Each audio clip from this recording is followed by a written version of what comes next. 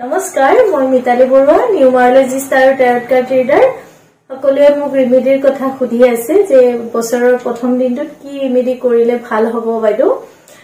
দুহেজাৰ চৌব্বিছ চনটো শনিৰ বছৰ। এই বছৰটোত টকা পইচা যথেষ্ট যিসকলে কষ্ট কৰে টকা পইচা যথেষ্ট ইনকাম হ'ব তেখেতসকলৰ।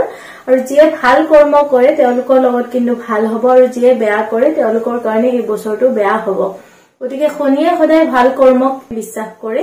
গতিকে আপোনালোকে কৰি চাব কালিৰ দিনটোত যিমান পাৰে কোটেশ্বৰ মহাখৰ্ব এইটো বৈদিক চুইচ ৱৰ্ড হয়।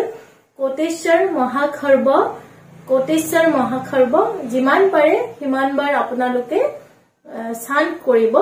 তেতিয়া মানে আপোনালোকৰ অহা বছৰটো দুহেজাৰ চৌব্বিছ চনটোত টকা পইচাৰে উভয় নদী হ'ব। অহা বছৰটোত পাৰিলে আপোনালোকে ধাৰ নল'ব নতুনকৈ যিসকলৰ অলৰেডি ধাৰ আছে। কাৰণ অহা বছৰটোত ধাৰ ল'লে অলপ ধাৰ মৰা দিগদাৰ হ'ব। আৰু অহা বছৰটোত মাটি বাৰী কিনিব খুজিলেও কিনিব পাৰিব আপোনালোকে যিসকলে কষ্ট কৰে টকা পইচা আছে। অহা বছৰটো শনিৰ বছৰ গতিকে কষ্ট কৰক টকা পইচা ইনকাম কৰক।